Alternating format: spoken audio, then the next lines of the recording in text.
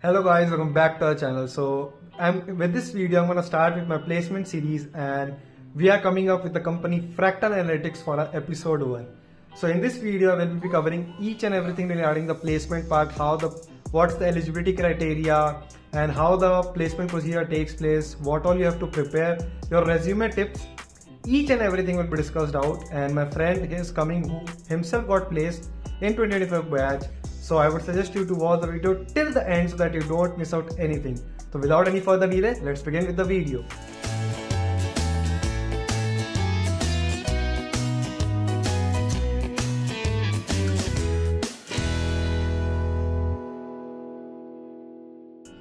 Okay, so first of all, thank you Sharan for coming to the channel. Uh, hope you're doing well. Yeah, how are you, man? I'm also good. So first of all, let's start with the basic intro of yours. Right. So hi guys, I'm Sharan Veluri. I'm a fourth year engineering student at SRM IST. I'm actually an EC student. I'm Siddharth's classmate as well. Um, so yeah, pretty much that is what I do academically. Apart from that, I engage in a lot of debating activities, and I also have a lot of fun watching a lot of sports and playing a lot of sports as well. That's amazing to know about you.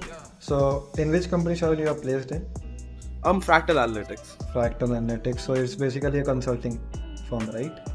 Um, yeah, sort of. Consulting is one of the things they offer. More than that, they're an AI-based company that sell their AI services to a lot of Fortune 500 companies. That's amazing. That's amazing. So let's move forward with the eligibility criteria for Fractal. All right. So the eligibility uh, criteria for Fractal was pretty much very basic. It was, I think, 70% across all academics. So that's 70% 10, 12, then 7 CGPA or above for your engineering. So uh, let me tell you one thing, guys. Key when you enroll for the placement part, your 10th, 12th, and your uh, university CGPA is uh, kept in uh, like uh, consideration. You have to be like up above 60% to get enrolled in your 10th and 12th. So keep that in mind. So moving forward with the next part, how many uh, rounds were there? So um, I think like it was in a way to put it, it was three rounds. That is, you had the resume screening, then you had the test, and then you had the interviews. But the interviews itself were another three rounds. Okay, that's a tedious task. Yeah, that was yeah. So talking about the first uh, round, what it was all about? Um, so it was basic resume screening, there was nothing you can do about it. You just have to build a good resume, post it to them, and then if they like the resume, they push you to, to the second round. Okay, but so okay. good thing to keep in mind during resume screening is that a lot of companies right now are going for AI screening methods, where they you know they have uh, shortlisted words, and if those words are there on your resume, there's a good chance you get shortlisted. So look for the company that you're applying to, and then customize your resume as per whatever the company does and ensure that those keywords are there in your resume so that you get shortlisted by it. So guys, keep uh, tuned with the video. Com- watch the complete video as Sharan will be telling about some of the resume tricks also and tips also he will be giving you. So watch the video till the end. So moving to the next part, what was your second round? Um, the second round was the online test round. Online test, okay. So what was it like? How? What type of questions were? What's the time limit? Right. So as far as I remember, to the best of my knowledge, I think it was like a three-hour exam. It was a very long exam. Three-hour exam. Okay, cool. Yeah, it was around 270-ish questions where you had like 85 behavioral questions. So these questions technically don't have a right or a wrong answer. Mm-hmm, it's mm-hmm. how you respond behaviorally. Is this what best Correct. represents your behavior? But other than that, it's just aptitude, plain aptitude. So how you would practice for an any aptitude exam, you prepare the same way as well and then yeah i think pretty much that was the aptitude round. So do they ask any co- coding questions related stuff in your um no. I mean i think they asked like two questions or one question in the end but again coding was like a very small part of those 287 questions. Okay cool. Keeping that in mind. So after that uh, do you have any gd round? Or directly it was the interview part that came into play. Yeah so there was no group discussion round. So what happened was i think around 3000 people wrote the test and out of which they shortlisted around 40 to 50 people for the interview directly. Okay, cool. So, like you told, the interview process was also into divided into three parts, right? Yeah. So, what was your first uh, interview round? What, what what it was? The first interview was the plain basic technical interview, where again they pretty much checked up on my resume, see uh, definitely noticed what projects I did, and the moment they saw a couple of software projects because of a couple of courses I had done, they started asking me questions about that, my involvement in that, what kind of an algorithm I used, the flow chart, was it high level, was it low level, and all of those questions based on the project. They really focus on your resume, they hold on to your resume. I'm pretty sure they have it on the screen when they're asking you these Correct. questions. Mhm. And so it's very essential that your resume has things you definitely know how to like mention how to present. Correct. So it was. So you mentioned some of the courses, right? You did courses. So would you like to tell what all courses you did? Also, uh, I was required to do a couple of courses. So I did the deep learning course and the machine learning course by Andrew Ng. I think pretty much anybody who wants to get into machine learning or AI will follow Andrew Ng. He's been doing some great work with deep deeplearning.ai. So pretty much that's all the courses I did. And something about the projects. Would you like to highlight any project that was really stand outing or made you to make your resume a bit good? Right. So um, so a couple of projects were pretty streamlined, pretty basic. Um, so we used a we a couple of my friends and me created this. Uh, what do you call that? This Minor projects. minor projects, right? So we created a couple of these minor projects where you know it is like uh, it's like your personal assistant. It's an AI personal assistant, but there's a lot of those. So what we did was we started using voice detection, but using syllables instead of like words, tone, and Mhm. all. On how you break syllables down is how we wanted to detect these particular voices. that was one project we did. Another, we didn't do a project. We wrote a research paper about adaptive traffic signs. Mhm. So basically, let's say a particular road is speed limit is 60 kmph, but when it starts to rain, it's obviously not 60 kmph. It has to reduce. Correct. We wanted to. We wrote a paper as to how other environmental factors determine speed limits and how they need to adaptively change to that. So amazing projects, dude. Like they are really good.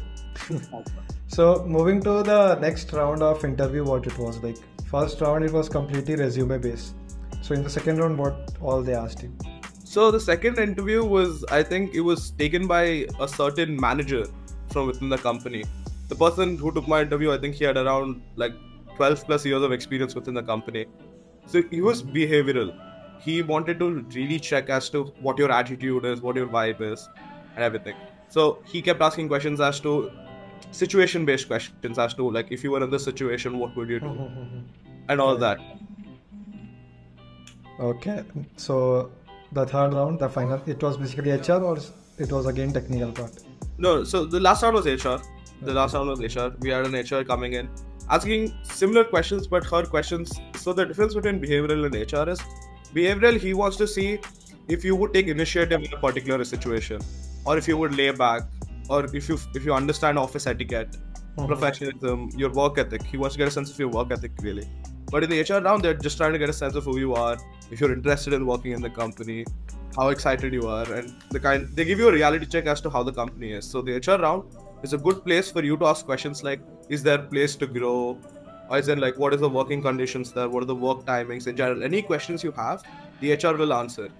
Because that's where they want to know if your actual real life doubts as to logistics, what are the timings, will I get a project, how do I grow? All of these questions are good questions for you to ask in an HR round. Amazing. So, according to you, asking questions at the end of the like, you get a chance, right? After every interview, they give you anything you want to ask. So, were there any questions you asked in the interview round, or only in the HR round you should ask questions? Any Um, so- interview tips, wh- whole and whole? I'm asking about the complete interview tips. Right. So um, it's pretty simple. I mean, again, I there's always the cliche of, you know, oh, how are the working conditions? Will I get to grow here and all? But I think one question you got, all of you should ask is, see, you know, you're supposed to look at this from this point of view. See, obviously they're investing a lot of money in hiring you, but you're also investing your future with them. Correct. So it is your also your duty to understand what your role and responsibilities exactly are, and try and see if you can actually work to them. Okay, if you don't have that initiative, then you will be working a dead end job, and the company will be working with a dead end employee. Correct. So Sharan, one of the ma- major thing I want to ask, like we everyone is going through the placement part, right? And we face hell lot of rejections. It's not like ki, we go and sit for the first company we get. Very rare people get that. I'm not saying that, but you also might have gone through this, and you might have also faced the rejections. So how you ta- tackled all those things? What was your mindset to overcome all, and again go with a smiling face to another interview? So um, if I have to be very brutally honest, like there is no uh, how do you say it? There's no way to actually deal with this rejection. I mean, obviously, you go on YouTube when you see BeerBiceps or somebody telling positively, like positively and all of that. But like, personally, the realistic point of view, I couldn't deal with rejection. I personally had to go to sleep every day thinking about placement, wake up every day thinking about placement and all that. I, I still remember we both gave ZSI and Sharan called me up. Dude, our name didn't come. what the hell they did? Yeah. I still remember that. Okay, yeah. So I I was so heartbroken after ZS because like it was it was one of the companies I targeted, right? I didn't go to college for the next two days because I didn't want to answer anybody who was asking me the question what happened with correct. and all of that. Correct, correct, correct. Just didn't want to hear the company's name again. But see, dealing with rejection is difficult. But I think uh, I actually recently just saw this. Uh, I think it's very Gen Z to say real, but I recently saw this reel where they say when you fake motivation or when you fake courage, right? I think that's just you being courageous. Like, let's say you don't want to do something, but you actually fake it and say, you know what, I'll actually do it.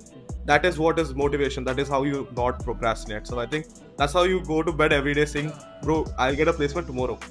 I'll get a placement. That's the way. Yeah, true. Correct, correct, it's, correct. The best thing you can do is to stay patient. It's very difficult to stay patient, but there'll be a, I mean, I'm not saying a lot of companies, but like there'll be eventually some companies that'll come and take you for whatever you want I think you just have to stay patient.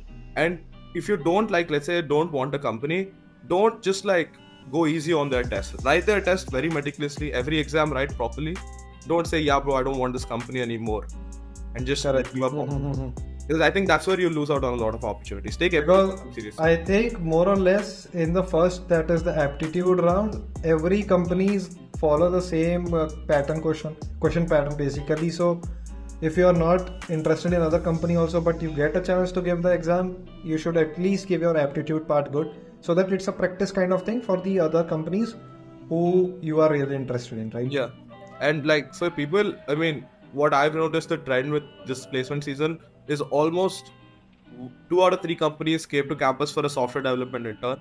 Correct. If people who want to do sde have to really step up their game I mean, again, I don't know much about SD, but all I know is you're you if you're like from a non-computing branch, you'd be competing with the entirety of the computing branch. Correct, correct. and even correct. if you're like really good, there's a good chance they might look at your branch and push you aside. So that's all what we saw, right? Like branch preference is one thing that company always focuses on. Exactly. Be it, be it your qualities, they more see on what branch you are because their mindset is being from a computing branch is easy to teach them or train them or less things uh, workload can be given to them easily because they know particular domain. So you need to stand out. So here comes the next question about the resume part. Like how to make a resume stand out? So um so again i think people who join srm have this portal called superset. That's where the, your entire placement process everything is done on superset right so suppose that has a resume feature, so your formatting won't be an issue. Like the tables and the columns, everything will be formed by themselves. But I think it's essential to have descriptions for any internship experiences you have with bullet points. And those bullet points can't be I did this, we did this. Mm-hmm. It has to be assertive statements as to like worked on this and stuff like that so that they know exactly what you worked on, make it very accurate. Second of all, mention all of the projects you've done and all of the courses that you've done that have helped you do those projects. So that they know that your courses and projects are interlinked that you just didn't do them for the sake of adding courses. Ensure that and be very honest on your resume really. And like at least even if you happen to add something that's not really true essentially true at least learn about it so that when they do ask about it you're not caught in a fit right?